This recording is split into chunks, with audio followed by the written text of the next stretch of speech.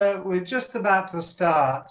Um, I'm Dan Thomas from the United Nations Global Compact in New York.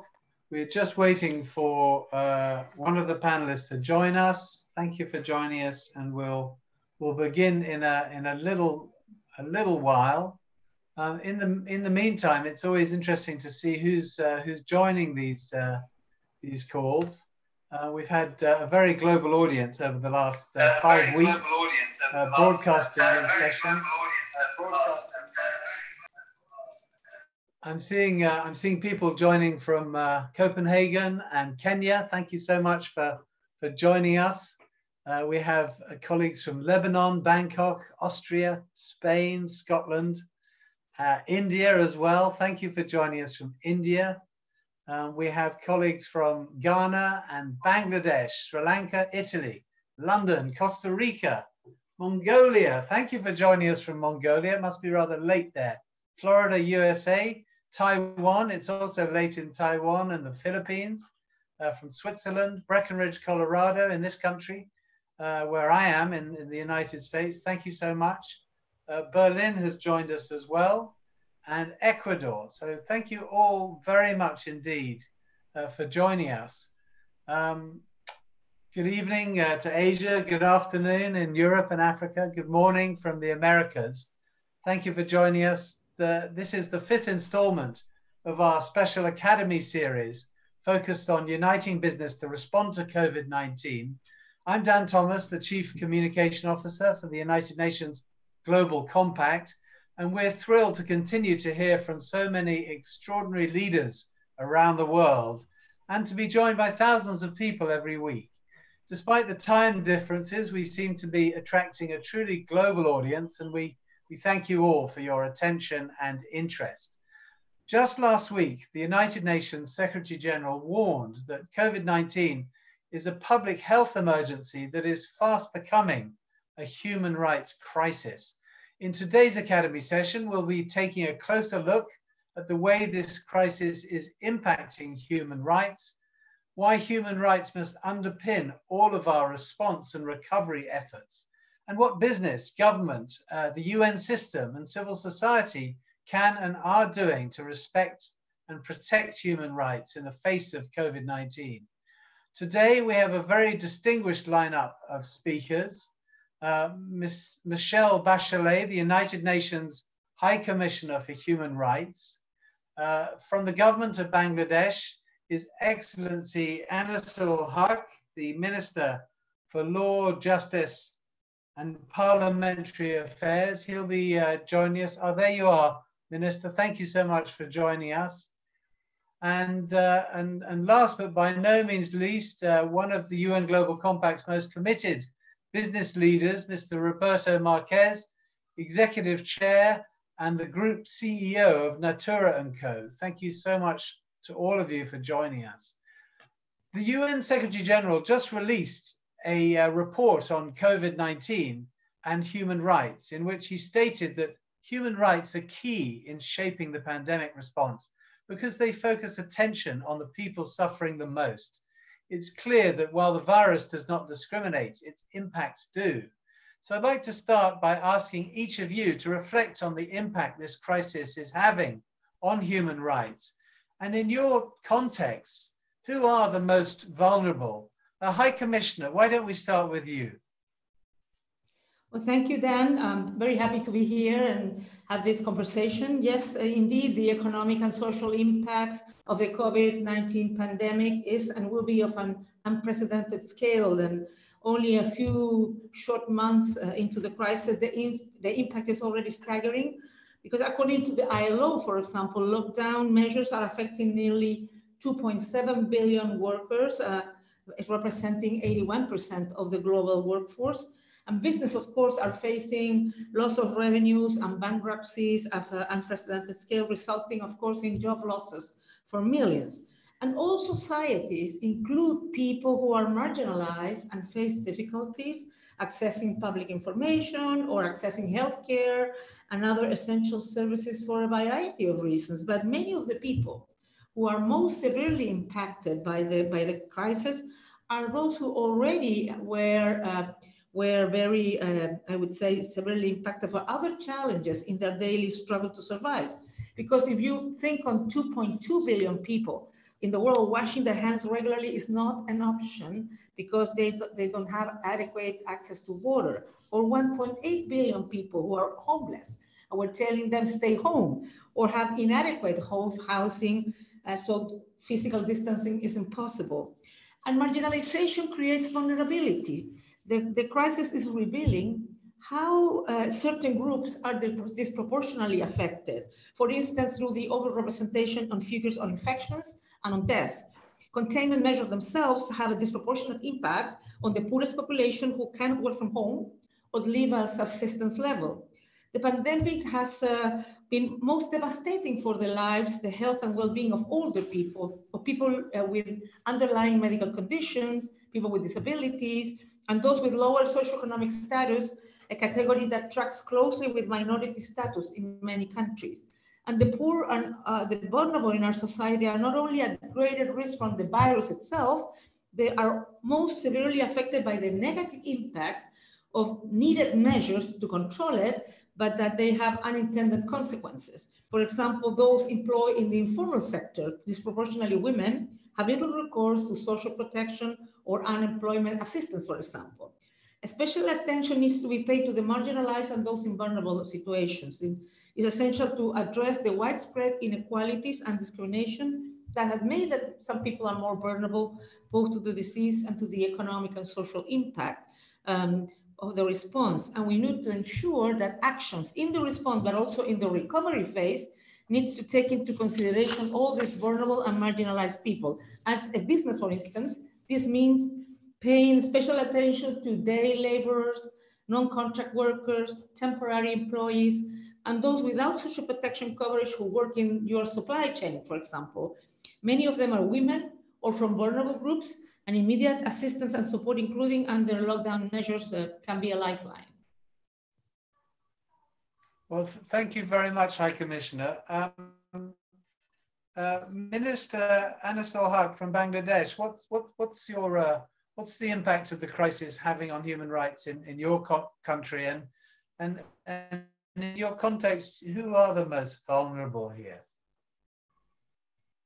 Um, from our context, you see the most disadvantaged people are those who are workers, day laborers, and transport workers, and all kinds of uh, street children, abandoned uh, women, and, and also the, the Hijra community, because they work on a daily basis. And the, their work has been completely stopped because of the lockdown that we are in now since uh, March the 26th. Uh, what we are facing is that we have uh, a very great exposure so far as the garments industry is concerned. And most of our garment factories are now closed, except for a few which have been opened with all the precautions taken. But that too has been opened very recently. So we have about uh, 3 million garment workers uh, all over the country who are uh, now unemployed, who have gone home. Uh, and the other um, disadvantaged people, uh, as I said, are the agricultural workers, because you see, uh, we have, during the harvest season, we have a, a migration of workers from one of our administrative districts to another district but that has completely stopped now. Uh, as a the measure, measure, that we have taken uh, to um, take advantage of the harvest season that we are going through now is we have mechanized it. And uh, those people, uh, the people who were supposed to work in the uh, paddy fields, are now rendered unemployed. So these are these are the people most impacted by the uh, coronavirus epidemic, pandemic. Thank you. And uh, Minister, what, what impact is this Am having on, on, on, their on their rights? As yes, we, we can hear you very well, but uh, what impact is this having on their human thank rights? Thank you. Thank you. Um, you see, The government has, starting uh, from the first case, which was detected on the 8th of March 2020, the government has started taking initiatives to help these disadvantaged population. And we have, the Honorable Prime Minister has already uh, given a, a, financial stimulus package. The first one was to assist the garments workers, and there was a 5,000 crore taka uh, give, given to the garments factories to pay the salaries of the workers, even if they are not working. And that gives them a three month uh, cushion, and they will be paid for three months uh, within this period. So they are being taken care of. The government is now under the social security net, now helping the poor, disadvantaged people, and, and it has gone up to the rural areas where we are uh, providing for providing food for the hungry and that means the workers the most disadvantaged people that i have mentioned uh, earlier so we are also uh, now focused on uh, providing for a more social safety networks we have got the vulnerable group feeding program the vulnerable group development program the vulnerable group feeding program includes about 5 million people. The vulnerable group development program of the Ministry of Child uh, and Women Affairs has about 1 million. So uh, we are providing food for the hungry. We are also taking care of the finance. There is a financial package which is providing them with Taka 500 and Taka 700, uh, which in terms of Bangladeshi context is uh, at least a, a, great help in this time of need when you have the food supplied by the government. So we are, uh, our prime minister, actually is gone. Our prime minister has already, I don't know we whether can, I'm connected or not. Yes, yeah. we can hear you, Minister. So, we can hear you very well. Please, yes. please continue. Thank you, thank you, thank you. It's getting, uh, the thing is that uh, our Honorable Prime Minister has already laid down that the programs that have been taken by the government will not stop till even after the coronavirus is over. We do not know the time, but the thing is that this package continues for three months, and the other stimulus is for the industry. Totally, a taka 72,750 crore taka, uh, crore uh, stimulus packages there. One is for the industry, the other is for the small and medium enterprises. Then we have the for the garments industry, and finally for the agriculture sector.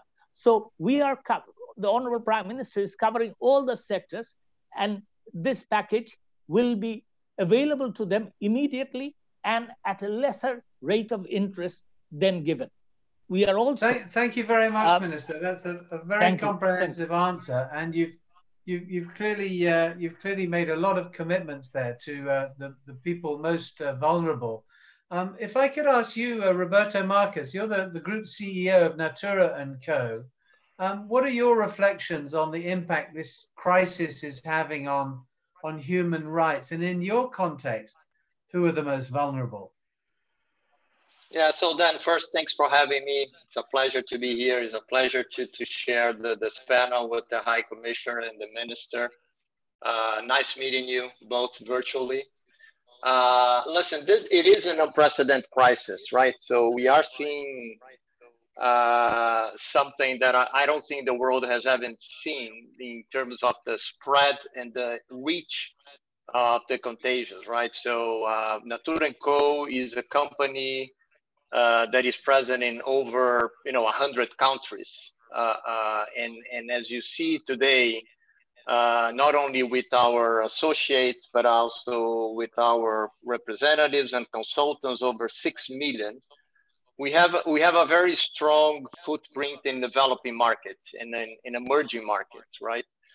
Uh, and we are seeing the impact, the human impact uh, it's having in our network, in our associates, So early on, we made a, a, a commitment to really put people first, uh, really prioritize the impact uh, across our network. So how we can protect them from job security to creating uh, initiatives to help them uh, navigate to the crisis.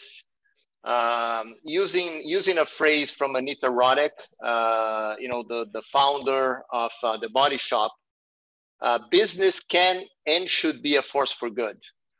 Uh, and in those uh, set of circumstances, I think it's so important that uh, business leaders and business in general working with governments, working with health authorities, working with the private sector, embrace that responsibility.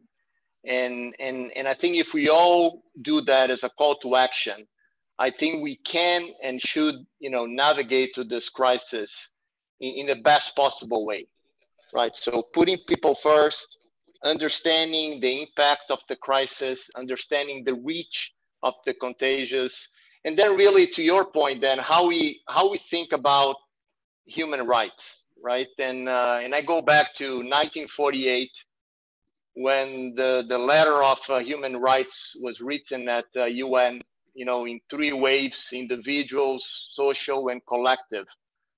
I, just wonder, and maybe something to consider as we come out of this crisis, if we should think about a fourth wave, which is related to mankind, right? I think as we are seeing here, the importance of the collective, the importance of what you do impact me, what I do impacts you, right? Uh, uh, and how we think about the right of people to come and go, but in a safe way, how we think again, you know, to provide health, especially for the most vulnerable people. And we, as we see, as uh, uh, the High Commission mentioned, the virus doesn't discriminate, but unfortunately, it hits harder the more un- underprivileged people.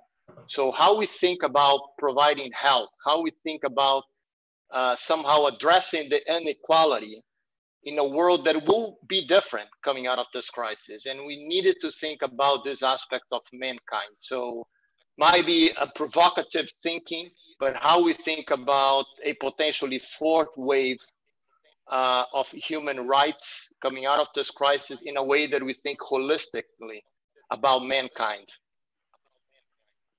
Thank you, thank you, uh, Mr. Marques. Um, High Commissioner, um, perhaps you could reflect on that that interesting sort of idea about the the importance of the collective, the rights of the the collective. Um, how do you see how do you see um, rights um, and the conversation about rights in this very difficult uh, pandemic emergency?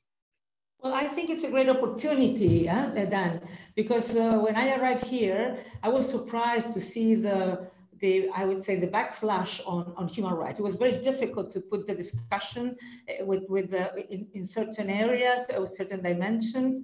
Uh, human rights were considered like, um, okay, only if it's possible, and, and, and only, and, and, and we insisted that human rights are all of them, not only political and civil rights, it's also social, economic, cultural rights, right to a clean environment. Of course, uh, we are all having working strongly with a lot of companies on digital technology, artificial intelligence, and human rights because new areas open also new questions. But I truly uh, agree with, with Roberto because so one of the things I've been asking myself is uh, when those moments that I tried to push hard on the human rights agenda, it was very difficult. I usually said, not a joke, but certain comment like, if tomorrow we needed to approve the, the, the Human Rights um, Universal Declaration, maybe we wouldn't approve it in today's world. But so I think it's a great opportunity because it had meant people to, I, I hope that when we, I mean, we do not want to go back to normal the day before COVID-19. We need to learn the lessons because what the, the, the COVID-19 has done is to show something that we always knew, is that there are huge inequalities in the world and, the, and, and how much people with, with uh, more vulnerable groups are really don't have access to main basic issues. And of course, not access to healthcare, even in very powerful countries, I have to say. It shows also something that for me as a medical doctor, a physician, has always been clear is that investing in health is an investment, it's not a cost. But for many years, the discussions at the economic level was, it's a cost, it's not an investment. But of course, we all know what's the more important thing in every country. It's the, the people, the, in, the, in the economic words, the human capital. So we need people to be in, in good conditions and with good health, with welfare, and with, with good levels of education, etc., etc. But for many years, this was seen as a cost, and you can see that systems, health systems, were not completely prepared for something like this. So I do believe that we should learn lessons we should understand the importance that we are all, and, and, and the Secretary General, the UN has always been saying, nobody's going to save himself by themselves. Here, uh, the, the, the, best possibility for me is that everyone else is safe. And that's why when we talk about health, we need everyone to have access to health. So it is, um, I think it's an opportunity to look at what's really important, what's really relevant, and to look also how we are all interconnected in, in good ways, but also in, in, in with problems like the pandemics that can grow and grow and grow. But on the other hand, we need to ensure that we have climate action, that we uh, ensure biodiversity, because many of these huge pandemics, all these last years, SARS, MERS, um, and others, are also zoonosis. They're transmitted from wild animal to domestic animal and domestic animals or, or to wild animal to human beings. So we need to, it's not only how we I mean, when we start the recovery phase, we need to think on all these dimensions, the human rights dimensions in all this area, how we respect nature and we are able to ensure climate action because we need to find out that we have been in risk, that this is a year that we are in risk and this is a time to think deeper. What are the kinds, which, which is the kind of economy that we're going to develop that can include the, the capacity of creating jobs, but also with more, uh, more uh, good labor conditions, which is the kind of political system that can come, that could bring more, um, I would say, democratic spaces to, to the people who can participate or be part of the solutions. So I think it's uh, on, on climate action, on, on how we deal with all these intersecting problems, because when you look at the most vulnerable, you see that many of them are women, migrants or refugees, uh, LGBTI communities, indigenous group, etc. So people, older people, people with disabilities. So there's a lot of intersecting issues that means that those people, their human rights are really affected. So let's hope, I, I, I will, I, I mean, I'll de describe myself as a, um, a strategic optimist. Let, uh, let me try to be a strategic optimist and think we need to come out better and we need to come out all together because that's the only way we're going to go through. Thank you. That, that's a that's a great answer, and we'll come on to that future in the in a minute and building the resilience into the system. Um, uh, Minister Anisul Huq in, Bangladesh, you heard uh, you heard Roberto Marques talk about um, how business leaders really should embrace their responsibilities. Um, in Bangladesh, are you finding is the private sector supporting the government in the extraordinary steps you're taking to support the most uh, vulnerable, the workers who have lost their jobs.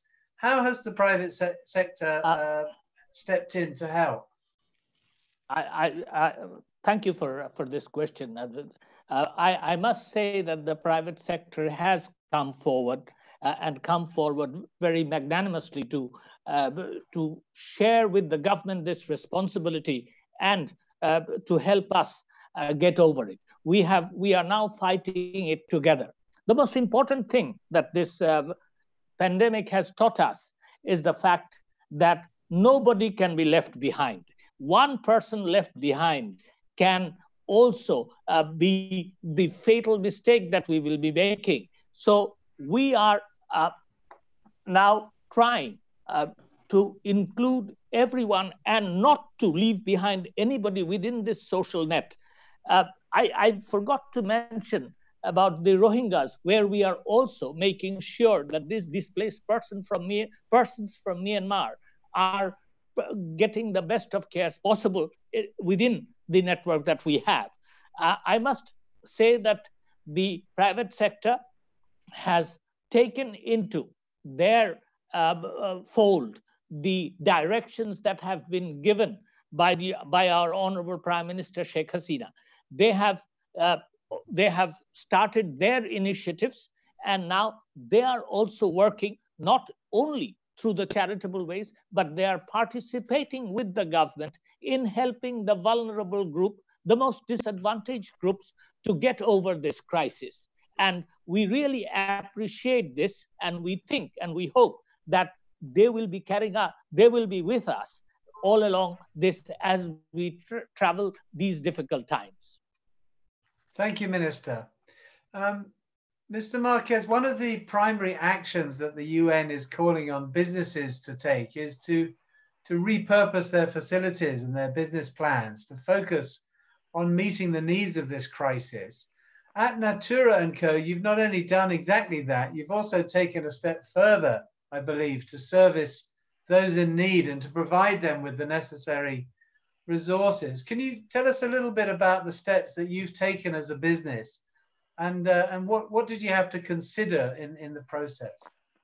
Yeah, a very good question, Dan. And again, I'm, I'm very proud to, to share that the work uh, that's been done with a lot of passion and enthusiasm by our by our colleagues and associates. But again, as I said, our first priority has been to put people first. But the second is being how we better serve the communities and how we can better serve the societies where we operate we know, for example, that as part of our portfolio across our uh, brands, Natura, Avon, uh, Body Shop, and Aesop, we produce one product that is critical to fight the virus, which is soap.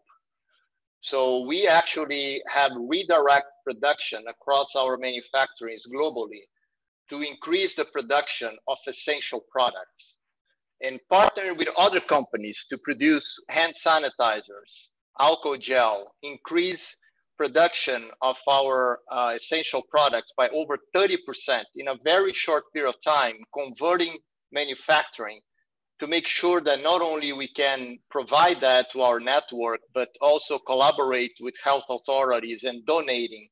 Up to this point, and we have donated over 10 million units of soaps, alcohol gel, and hand sanitizers, and will continue to do so especially in the areas of underprivilege where people and hospitals and local authorities uh, need the most.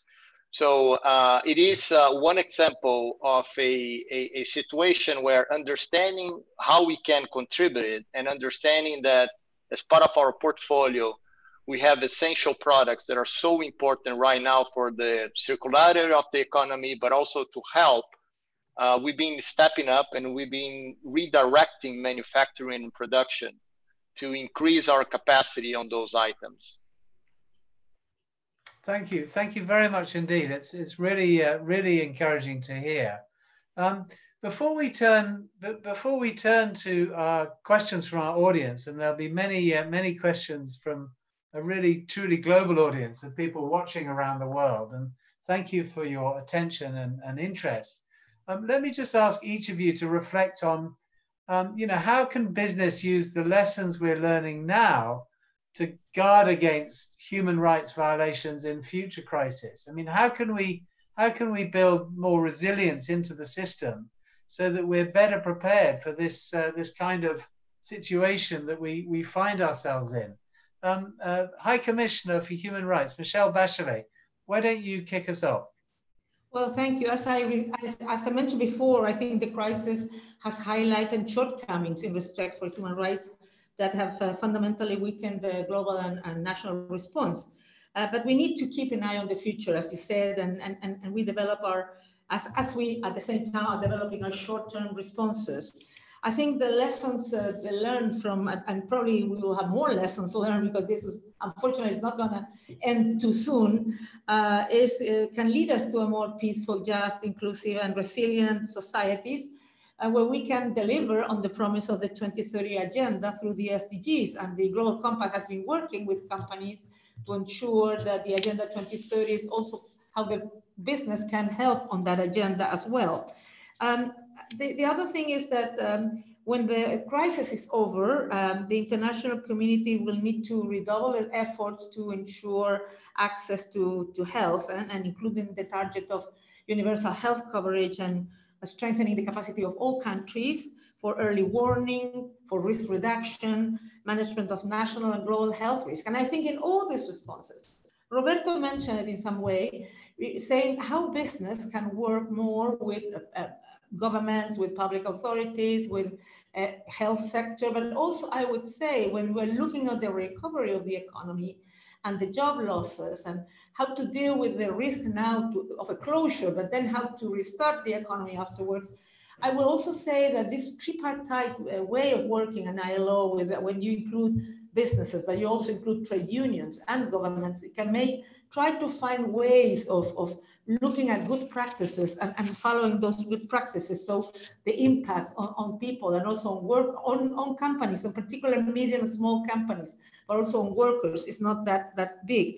I think we, we need to continue tackling uh, inequalities that exist there. We need to ensure uh, better labor conditions and, and we need to uh, have respect, as I mentioned before, and companies here also have to play a, a role, important role on climate action and protecting biodiversity through ensuring good sources of clean energy. Um, so we need to work in, in, a different way as well. I think one of the things that uh, I think has been one of the biggest messages of the UN, but I'm not sure it has really, really gone through is that when you have a pandemic, you need global cooperation, you need global solidarity because everyone depends on the other. And unfortunately, we have not seen that yet so much.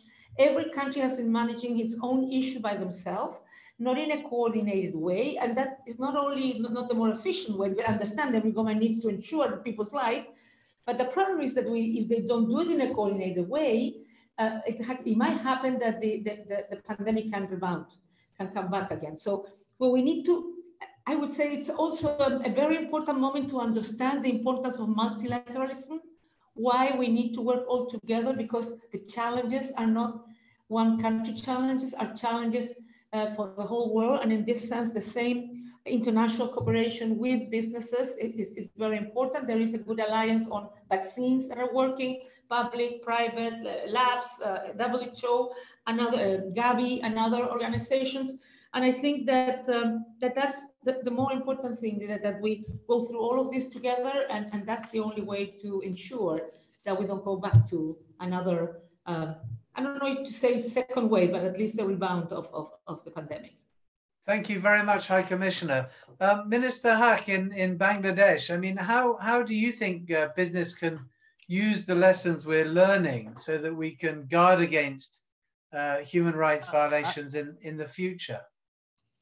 I, I, think the most important thing, while agreeing with the High Commissioner, I, I would say that you see, uh, now the private sector should come up with a partnership with the government about uh, you know the social security measures uh, for for their workers and also the health security part because uh, we, we by this pandemic we have understood that this kind of waves can start and, and we, we become paralyzed when it, it does start. So the second time around, if God forbid this kind of things happen, we are better prepared to handle the crisis, the human right crises that this kind of pandemic starts. For example, if uh, the private sector has a, a, proper social security net within the uh, industry that they work, in that case, we will be able to uh, at least help those who will become unemployed. They will not they will not fall back on the government as they are falling back now. So if we have that kind of partnership, in that case, I think we will be better off uh, in facing any other crises that, that might come up. And when we are talking about recovery, we must also uh, think that this kind of partnership is essential to uh, make a speedy recovery from what, what we are facing today. I don't know when it will end, but I am hoping, uh, as the High Commissioner has said, that she's a strategic optimist. I am a practical optimist, and I would like that uh, this, I would pray that this is over. And once it is over, then we will need a partnership of a very big scale whereby we can all be united globally and also nationally to overcome the, the problems, the uh, trage tragedies that this pandemic has caused. Thank you. Well, thank you very much, uh, uh, Minister. Thank you, and thank you for that view. It's really so interesting to have uh, a, a, country like yours uh, as part of these discussions. Um, uh, Roberto, um, why don't why don't you reflect a little bit on on on how business can use the lessons we're learning? How can we how can we recover stronger, recover together? How can we build resilience into our into our system? Yeah, no, I, I would first uh, that I, I could not agree more with the High Commissioner and the Minister in the way I think they that they share their their points of view. I, I, think there are a couple of words that comes to mind, and I think in terms of lessons learned and how we needed to think about this new norm.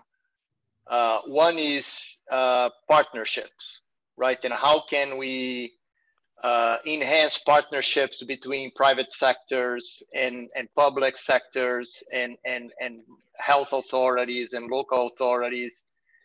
Uh, second that comes to mind is uh, a more coordinated approach. I, I, I, think, you know, High Commissioner mentioned well, it, it does feel that every country, uh, every municipality is still trying to figure that out. And how can we work more as a collective?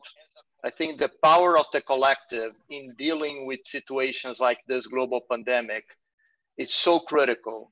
And, and, and I do also think that especially the people running for public uh, offices needed to step back a little bit. And, and, and I do see a lot of political elements playing into initiatives. And, and, and I think there is a call to action to almost like put that in second and third priority and really focusing on right now what we are talking about you know lives and human beings and how we needed to think about what i think uh, the high commissioner mentioned which is the human capital. The world cannot exist without human capital and we need to protect that and do everything we can to really uh, uh, defend that uh, and, and how we needed to think about it. And, and my last point is I also think that there is an opportunity, being also a, a, a kind of optimistic sense. I, think coming out of this crisis, we have an opportunity to double down on and how we think about the climate crisis, how we think about some of the actions that we might needed to take uh, uh, coming out of this uh, situation, and how what are the things that we need to put even more emphasis. And you heard about biodiversity, which is very uh, uh, very dear to us with all the work that we do with the Amazon forest, etc. So how we how we leverage biodiversity, uh, how we leverage a situation where we we we make the commit commitments of the uh, Agenda 2030 more uh, uh, front and center with the business leaders and the collective with between private sector and government. So I, I, do think then that there's going to be, uh, despite this being such a, a brutal impact in society, in lives, in the economy, there's going to be some lessons learned that if we take to the heart uh, and really act collectively, I think we can come out of that even stronger as society and as individual, as business, and as government. Thank you very much indeed. inspiring, uh, inspiring words. Um, so now we're gonna we're gonna move to questions. We've got a number of questions coming in from our from our audience. Uh, Minister Huq in, in Bangladesh, maybe I can ask you to reflect on, on this and, and the others as well. The question that we're receiving from many people is how multinational corporations can, um, you know, ensure human rights are protected across their supply chains uh, what's your experience in Bangladesh of, of how multinational uh, organizations, companies are, are reacting and, uh, and in particular with regard to human rights? You, you, you see, uh, the most important thing that we are facing now is in, in, in the way of getting uh, canceled orders orders are being cancelled right, left, and center. So I will make an appeal through you and through this uh, compact that you see uh, we are ready if uh, within a very short time i guess and i pray that we will be ready to uh, our industry to start our industries and and basically the garments factories. And if the orders that has had been pla- that has been placed earlier if they are kept there, in that case, they will be actually helping human rights in the, in the way that these workers will come back to work and their basic needs will be answered once they, they start working. So I will, uh, the multinationals have a very big role to play in this. And as I said, I will borrow this word from uh, the uh, High Commissioner saying that there must be a, a global effort. And, and when we are talking about the global effort and Roberto's collective effort, we, we are talking about such kind of assistance that they come forward without canceling the orders so that we can all participate in the recovery system. Thank you very much, Minister. Um, Roberto Marques, uh, here's a question which is uh, coming in from a number of people as well. Um, the role of business has already been, uh, you know, challenged as a, a question of, you know, who, who, the priority is, what the purpose of business is in society. Um, uh, do you think this pandemic is a final step for business to prioritize stakeholders over shareholders?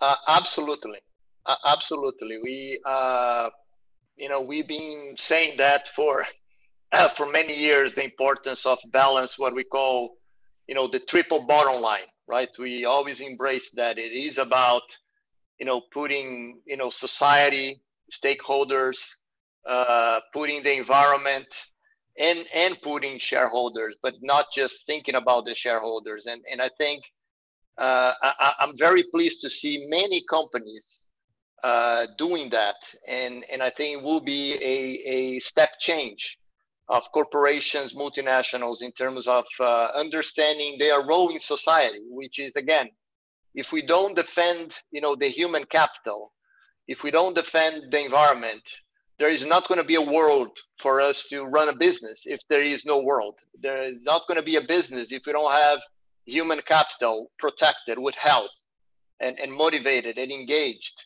in, in driving the company. So I, I, I do think that this crisis, again, it is teaching all of us important lessons about how we prioritize things, how what's the role of uh, corporations, how we better partner with local authorities and health authorities, how, again, this whole notion and discussion about should we prioritize uh, public health versus economic growth.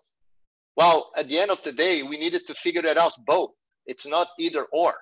We absolutely need to protect public health. Uh, there is not even a question. But I do think that it is possible to drive economic growth in a safer environment in a way that we gradually you know bring the economy and and and, and make the circularity of the economy without compromising uh, uh, uh, public health.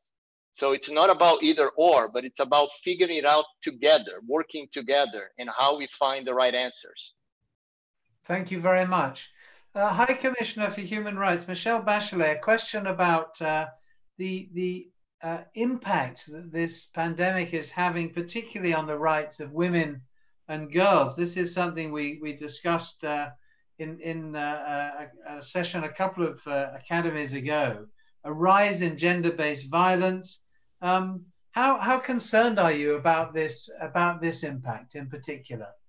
Well, I'm very concerned, and we have had a lot of webinars discussing about this because, uh, eh, I mean, uh, on one hand, as you just uh, mentioned, we have seen the rising levels of domestic violence, violence against women when they are in confinement with abusive partners. And, and the numbers are really impressive, how many reports and allegations have doubled.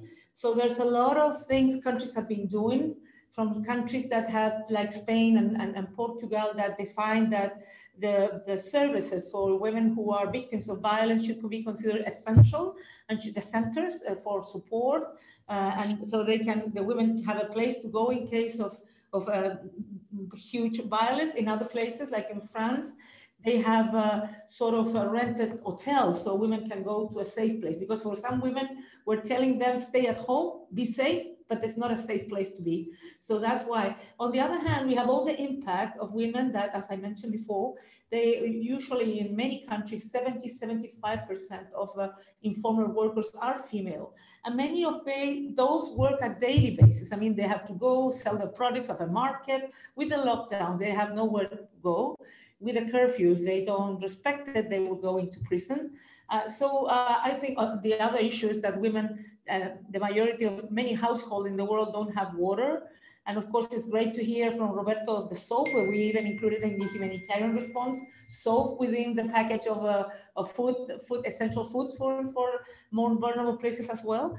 So um, I would say from the point of view of the, of the job losses, uh, many SMEs are, are, are, are, women as well on the informal sector many migrants and refugees, this have, will be have a, a, even huger problems. When women don't have water, what they do, they go miles and miles away to fetch water from the houses, putting in danger their safety. They're raped many times, and also the health uh, possibilities. So, so I would say we have clear notion that it affects uh, much more. And on the other hand, the other important issue is 70% of more of health workers are female and, and, have, of course, a great exposure to the risk of getting a COVID-19.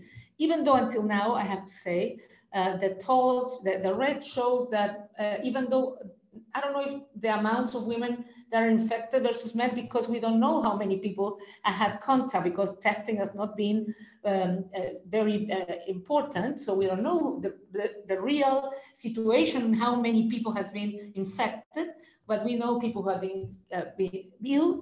But on those, the, the death tolls are bigger on men than on women right now. I mean, it's like 40, 60 or 30, 70%, depending on the country. So I would say the majority of the problems affect disproportionately women and girls. But of course, um, of course, there is a concern on FAO and WFP, World Food Program and um, Food and Agriculture, uh, organization that, that this could lead also lead to climate change in some places to food insecurity and that much more people will be with famine and usually what we see is that women are the last that they eat they prefer to, to uh, prioritize the children the husband and so on so i would say there's a lot of clear information that women are disproportionately affected and that's why we made it's a secretary general uh, made a call us as well that created a guidance give, given information and, and recommendations, specific recommendations to each government, what to do in, in each case. Thank you, thank you, High Commissioner. We're gonna we're gonna wrap up now. We're getting to the uh, uh, to the end of the uh, of the program. Um, uh, Mr. Marques, uh, maybe I can just ask you to make a final comment about uh, about this this um, impact on on women and girls in particular. I believe as a company, Natura and Co have have prioritized that issue as one of your initiatives in this area. And we've heard we've heard from the High Commissioner that she's a, a strategic optimist, that the the minister is a practical optimist. What kind of optimist uh, uh, would you say that you are?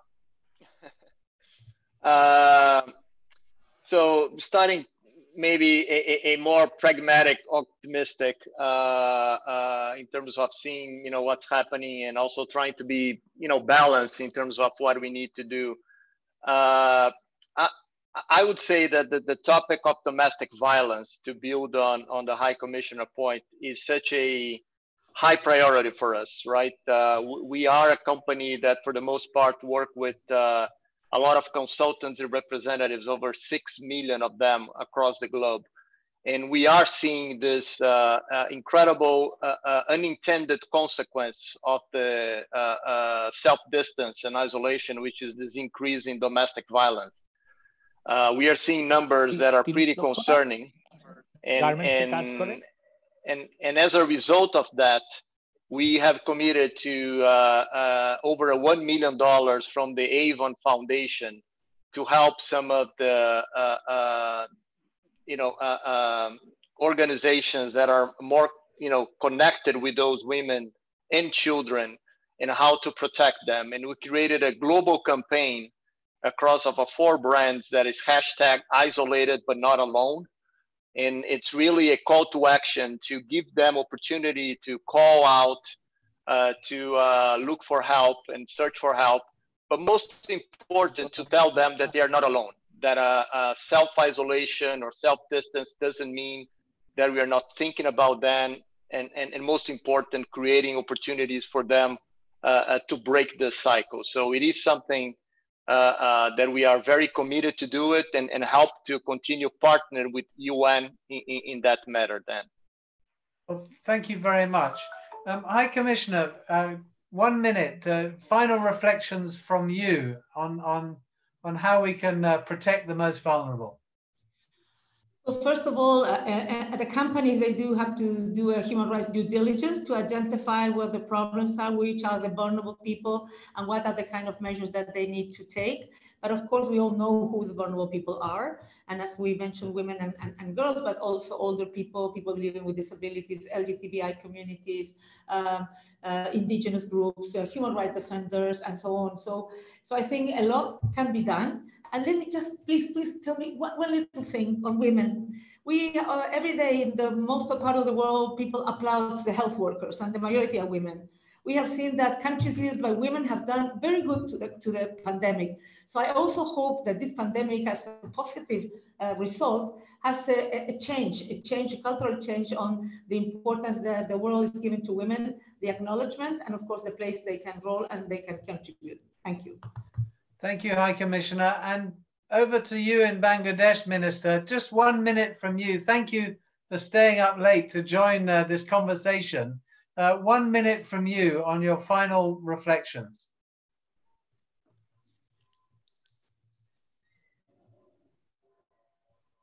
We, we can't hear you, Minister. You're, you're on, on mute, I think. Well, we'll we'll uh, we'll carry on and and just uh, finish by uh, I'd like to finish by thanking our our, our panelist uh, Michelle Bachelet, the United Nations High Commissioner for Human Rights. Uh, thank you from the government of Bangladesh, His Excellency Anisul Huq, the Minister for Law, Justice and Parliamentary Affairs, and uh, Roberto Marques, the Executive Chairman and Group CEO of Natura & Co. Thank you for joining us. Uh, there's a link in the chat box to register for the next week's session on global cooperation for crisis response. We look forward to hearing from a sustainable business leader and SDG advocate, Paul Polman. We'll have the executive director of the Wallace Global Fund, Ellen Dorsey, and a special envoy to the World Health Organization's Director General on COVID 19, Dr. David Nabarro. Uh, this crisis underlines the need for strong institutions, multilateralism, as we've heard, and global partnerships. So we will ask uh, all our speakers about the bold leadership that's needed at both the national and global level to combat the crisis and work towards a more sustainable future. So next week's session will take place two hours earlier at 8 a.m. Eastern on Tuesday, the 5th of March. So uh, uh, we hope that everybody stays safe. Thank you for joining us. Goodbye. Goodbye.